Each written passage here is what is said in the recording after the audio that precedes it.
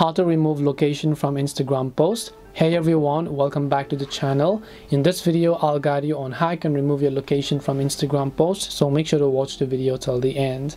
If you'd like to remove your location from Instagram post to a post that you've already created, open up Instagram here.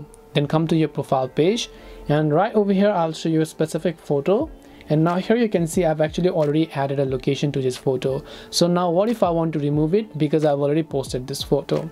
It's actually quite simple. Just tap the three dots option here and then go to edit button. Once you go to edit if you look at the top you'll be able to see your location. So first just tap on that current location. As you do that now do not select anything. As and when you do that just hit this button here once and then just hit the cross button. As I do that the location will get removed and now you can see it says add location instead of a location.